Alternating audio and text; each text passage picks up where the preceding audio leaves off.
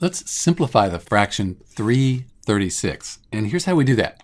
We want to find another fraction that has the same value. It's an equivalent fraction, just that it's in the lowest terms. To do that, we need to find the factors of 3 and 36. And that looks like this. So when I look at the factors for 3 and 36, the greatest factor that they have in common, that's just 3.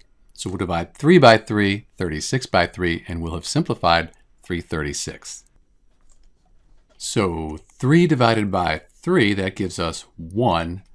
And, and this 36 divided by 3, that gives us 12.